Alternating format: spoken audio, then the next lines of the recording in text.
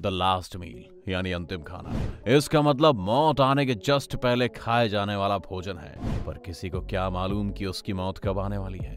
वैसे किसी को अपनी मौत की तारीख पता हो या ना हो, लेकिन इस दुनिया में एक वर्ग है, जिसे न केवल अपनी मौत की तारीख पता होती है, बल्कि वो अपने लास्ट मील पर भी चर्चा कर सकते हैं। ये पता होते हुए कि उनका आखिरी खाना है। जी हाँ मौत की सजा पा चुके कैदी सिर्फ़ ऐसा कर पाते हैं। फांसी की सजा पा चुके कैदियों से उनकी अंतिम इच्छा पूछी जाती है, जिसमें उनका लास्ट मील भी शामिल होता है। हालाँकि इसके लिए हर देश ने अपने अपने हिसाब से लिमिट तय कर रखी है। लेकिन दुनिया भर की जेलों के इतिहास में कुछ कैदी ऐसे रहे, जिन्होंने अपने लास्ट मील में अजीबो गरीब खाने की चीज़ मांगी। आज हम अपनी इस वीडियो में उन्हीं कैदियों की अजीबो गरीब लास्ट मील के बारे में आपको बताने जा रहे हैं दोस्तों, शुरुआत करते हैं विक्टर हैरी फिग्योर से, जिसे साल 1960 में मिशिगन में हत्या का दोषी पाया गया था। उसने एक महिला की मदद के बहाने डॉक्टर एडवर्ड बार्टल्स को अपने घर में बुलाया और उसे गोली मार दी।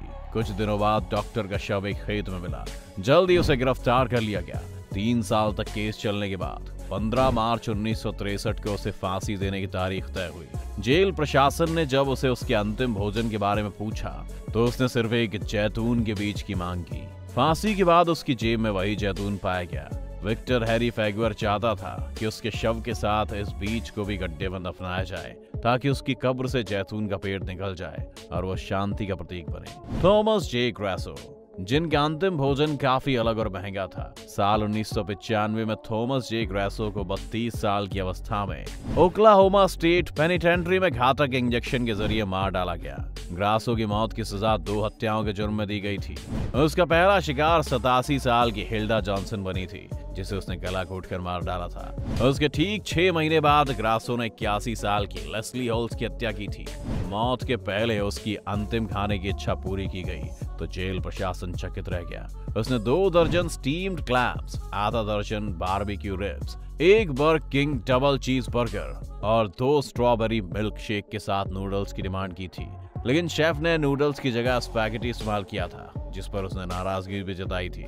उसके अंतिम शब्द थे, मुझे मेरे नूडल्स नहीं मिले, मुझे स्पैगेटी मिली है, मैं चाहता हूँ कि प्रेस ये जान ले। अपने सबसे विचित्र अंतिम भोजन के लिए जेम्स एडवर्ड स्मिथ को जाना जाता है। स्मिथ को इंश्योरेंस कंपनी के लूट के वक्त गार्ड की गोली मारकर हत्या का दोषी पाया गया, जिसके चलते 1990 में उसे इंजेक्शन से मौत की सजा सुनाई गई थी।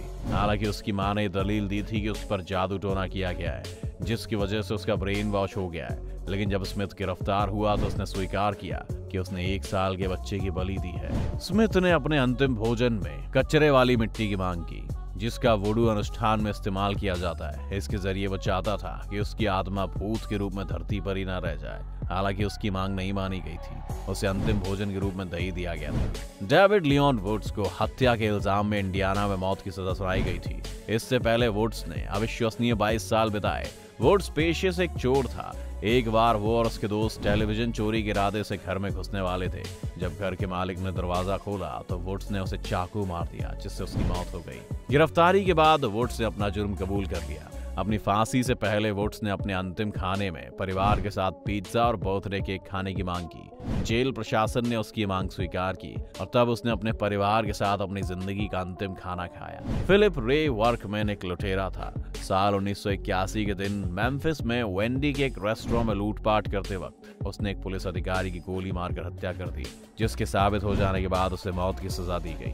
अपने अंतिम खाने के रूप में उसने अपने लिए और तो कुछ नहीं, बल्कि बेघरों को शाकाहारी पिज्जा देने के लिए कहा।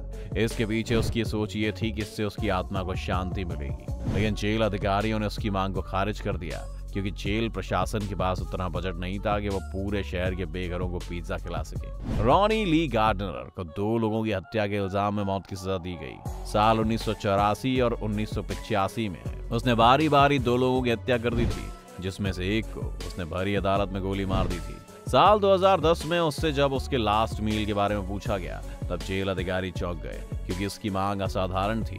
अपने अंतिम खाने में उसने steak lobster tail apple pie with vanilla ice cream और एक सेवन अप कोल्ड ड्रिंक की मांग की थी।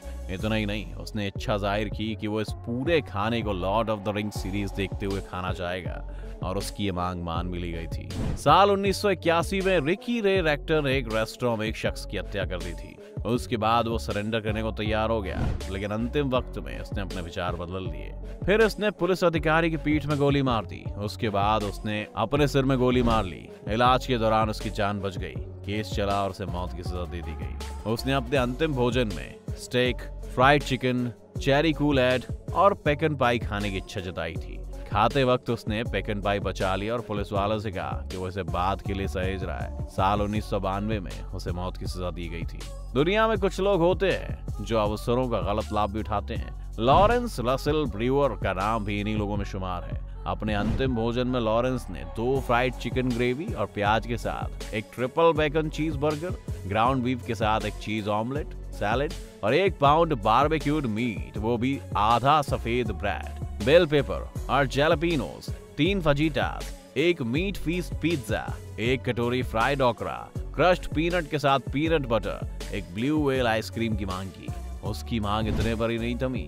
उसने तीन रूट बियर की भी मांग की। लेकिन जब ब्रेवर के लिए सभी चीज़ें खाने के लिए लाई गई तो उसने खाने से इनकार कर दिया। उसने कहा कि वो भूखा नहीं है। उसके इस काम ने जेल अधिकारियों को इतना नाराज़ कर दिया कि टेक्सास में अंतिम भोजन की सतासी साल की परंपरा को ही बंद करवा दिया गया। स्टीफन वेन एंडरसन भी एक खतरनाक अपराधी था। साल 2002 में 48 साल के एंडरसन को मौत की सजा सुनाई गई।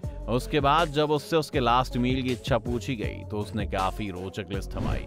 उसने दो ग्रिल्ड चीज़ सैंडविच एक पाव से ज़्यादा पनीर मकई का दलिया पीच पाई और चॉकलेट आइसक्रीम खाने की इच्छा जताई। विलियम बोनिन एक अमेरिकी सीरियल किलर जिसका अपराध दूसरे अधिकारियों से भी क्रूर था। उसने इक्कीस युवा पुरुषों और लड़कों के साथ पहले तो रेप किया, फिर उन्हें कड़ी यातनाएँ दी। उसके बाद उसने सबको मौत के घाट उतार दिया। उसके इस अपराध के लिए साल उन्नीस सौ छियानवे में उसे मौत की सजा सुनाई गई। उसकी मौत से पहले उसने दो पेपरोनी और सॉसेज पिज्जा तीन scoop chocolate ice cream Coca Cola और पेप्सी पीने की इच्छा जताई। जेल प्रशासन ने उसकी अंतिम इच्छा पूरी कर उसे जहरीले इंजेक्शन से मौत दे दी। तो ये थे वो कैदी जिनके आखिरी मील की लिस्ट काफ़ी दिलचस्प थी। अब आपको किस कैदी की मौत से पहले का लास्ट मील पसंद आया? आप हमें कमेंट